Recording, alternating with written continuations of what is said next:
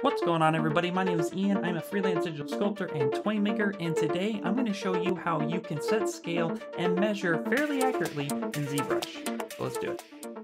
So today we're going to be talking about scale and measurements and how to do that accurately within ZBrush. And it's a fairly simple process, so I'm going to go ahead and get into it First, we're going to set the scaling, and then we're going to go ahead and set the, uh, and then I'm going to show you how to actually measure once the scale is set.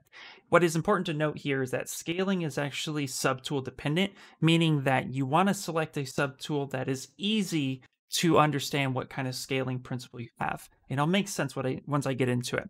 So the first thing we want to do is actually pick a subtool that would make sense. And for me, it's always a cube. So we're going to go ahead and go to insert, and we're going to go ahead and pick a 3D cube. Now, as you can see here, that the cube is fairly large, but what we want to do is kind of have an idea that this cube is a certain size. And for me, an inch works universally across the board. Uh, and I usually use it in uh, metric system, so 25.4 millimeter is usually what I tend to set my cubes to. But as we're taking a look at this, we can see here that the cube is about the same size as my Jabba the Hutt here. Well, we don't want it that. I at least want this to be about four inches tall. So the very first thing we need to do is actually grab our gizmo and let's scale this down to a size that we are going to like. And we're going to move it off to the side here just so you can see. And what I do is I size this, the cube first before setting the scale. This way I'll already have an idea of what that's going to be. So I have my cube here. I'm going to go ahead and hit this little pin button right here, which means that anytime I move my gizmo, it's going to go ahead and snap back to that one location. And I'm going to control Z that. And the reason why I'm going to do this is actually I'm going to hold control and drag a copy of this cube up and stack it fairly on top of each other. But then when I let go, that gizmo snaps back. Then I'm going to press 1 a couple times until I have about four cubes here. I'm going to go ahead and clear that mask, uncheck that little pin, and reset this uh, gizmo to the center.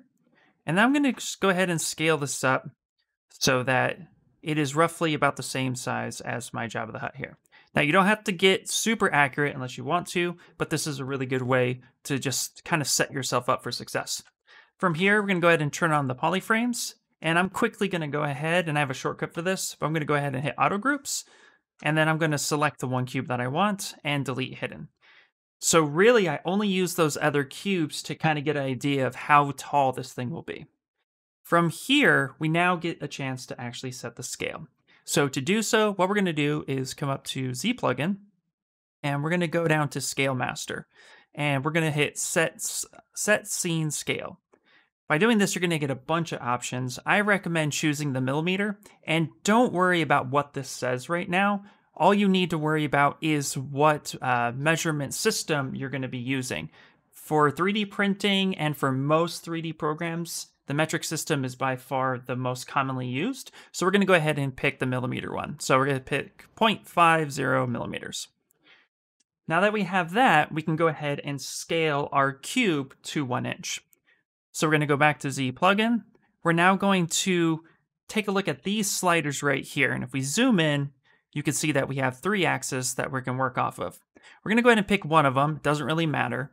And we're going to type 25.4 and hit enter. 25.4 millimeters is equal to one inch, just in case you were wondering. From here, we're going to go ahead and there's a button right here called Resize Subtool. We're going to go ahead and click that. Now, you're more likely going to get this error message. This error message is common, and I just ignore it because it doesn't actually really affect anything. But from here, just go ahead and hit OK, and we're going to watch our entire subtool just rescale. Now that it is done, we can see here that we have a cube and Jabba the Hutt, and they look fairly identical, but they are resized. So now what we need to do is confirm that this cube is 25.4 millimeter. And to do so, we're just going to come up to Z plugin, hit uh, set scene scale once more, and now you can see that our options have changed, and we have 25.4 millimeters right here. So we can go ahead and click that, and now our cube is set to that millimeter standard. So now that we have the whole scene set, what we could do is actually pull some measurements from our subtools so that we can ensure that the model can either be A, 3D printed, or B, moved over into another program that we may need to use those measurements later. So because setting your scene scale is subtool dependent, what we want to do is uh, basically grab the subtool we want to measure before using the measurement method of using transpose tool or even using a 3D print hub. And I'll show you in a second. So the way I recommend you measure a subtool so that you can ensure that it is the size that you would like it to be, what I recommend is you come and you grab that subtool over here in the subtool palette, come up to Z plugin, and come to 3D Print Hub. From here, we're going to go ahead and click Update Size Ratios. By doing so, you'll be presented two options, either inches over millimeters or millimeters over inches. However you decided to set your standard, in our case it's millimeters, stick with that. It will save you a lot of problems uh, in the long run. If you choose to change this, I recommend changing this in Scale Master. But for tutorial purposes, we're going to go ahead and keep it the same.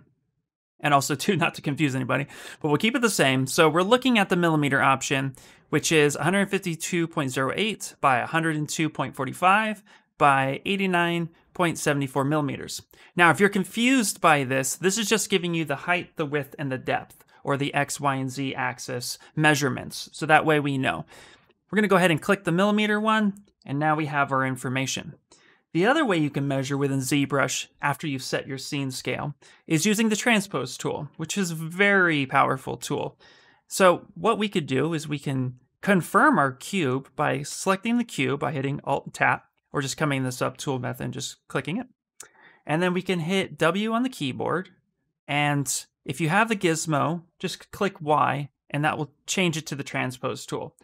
And if you hit Y again, it'll change it back and forth. So we're going to click Y till we have the transpose tool, which is this little guy right here. We're to zoom all the way in on the cube. What we're going to do is we're going to click a point. As we start to drag, hold shift. This will allow you to draw uh, to drag a straight line. And we're going to go to another point on that model. And we're going to go ahead and let go. And right up here at the top, we zoom in, it'll say 25.3989 millimeters. So that's a fairly accurate reading within ZBrush so that you can actually see that, yep, that's about 25.4 millimeters, give or take. That's an inch. Very, very accurate. And we can do this with every subtool. We can do this with the Jabba the Hutt. We can just, we want to know how tall he is. We can actually go ahead and zoom in, grab our, our uh, transpose, drag, hold shift, bring it up to the top. And you can see it dragged a straight line by holding shift. And right up here at the top, it tells us it's about 101.79 uh, 67 millimeters. So the only flaw with this transpose method is that it is dependent on how far you drag it out. So you can overshoot or undershoot the model. So just make sure that whatever you're measuring, you can actually really get in there and get two clear points uh, of measurement. What I love to use this method for is wall thickness or making sure there's enough space in between my key cuts. So like, for example, if I wanted to measure the wall thickness of his finger, I can just come on in here, drag, hold shift, get to the other side, and his finger is about 2.2 millimeter so this will make sure that it's printable since you want a wall thickness of at least 0.2 millimeters. So that's that's thick enough. But that's how you can actually use the transpose tool to measure. Or if you want a overall measurement reading, you can just come up here to 3D Print Hub and hit the update size ratio for the overall reading. Okay, everybody, that is it for today's video. Hopefully you guys enjoyed yourself. Hopefully it was informative. And if it was, please give it a like, thumbs up. Don't forget to share. Also, too, if you guys do things a little bit different, I would differently, I would love to hear your thoughts on that. So comment those down in the comment section down below. And if you guys are interested in how I sculpted the Jabba the Hutt that was featured in today's video, go ahead to my main channel and or click this link right here, and that'll take you to the time lapse. Um, I did it within three hours in a little sculpt off challenge over at Spicer's Dojo. Uh, he's a great artist and I love hanging out with him. And so it was fun to do that over on his Discord. So anyway, guys, that is it. And I will talk to you all later. Have a great one. Bye.